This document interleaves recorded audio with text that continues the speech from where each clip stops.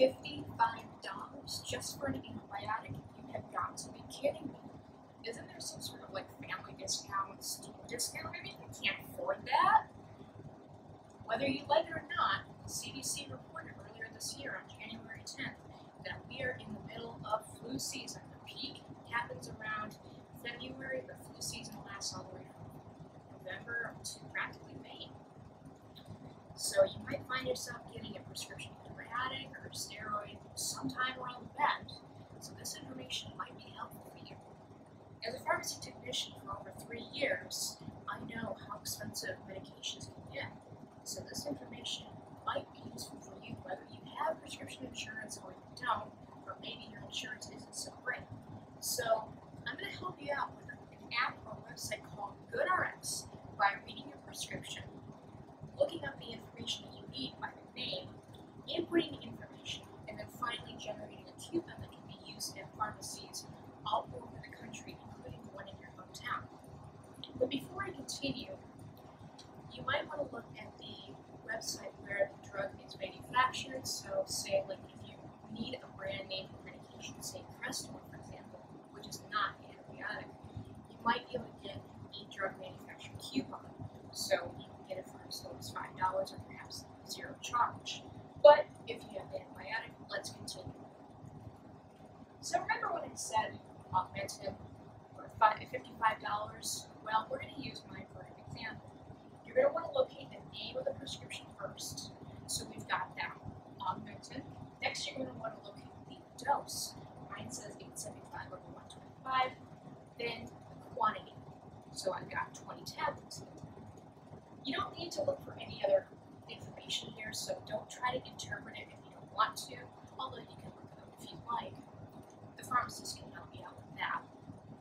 So you've got all the information you need right now, but let's go head over onto goodrx.com to input this information that we've got. So we'll want to start out and type in the antibiotic name. You can just put in the antibiotic name as it appeared on the script, even though it can be substituted generically. So we're just going to start typing in augmentin. So see here, it came up as augmentin, amoxicillin, potassium, alkalinate. Okay, cool. So mine popped up right away.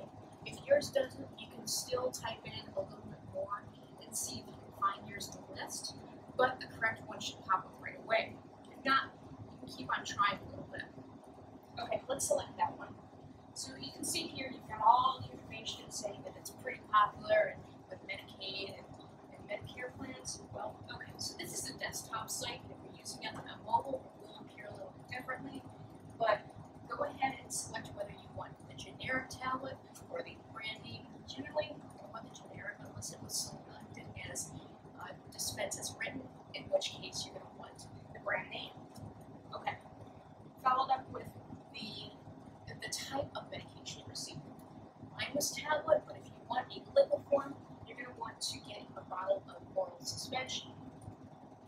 Mine was auto-populated as the correct dose, but if you've got a different dose, like 500 milligrams or 125, then you're going to to select that. Again, mine auto-populated as 20 tablets, but make sure this is correct because you may have a different dose prescription, or rather your coupon, will change accordingly. So, now that we've got that under control, you want to choose your pharmacy.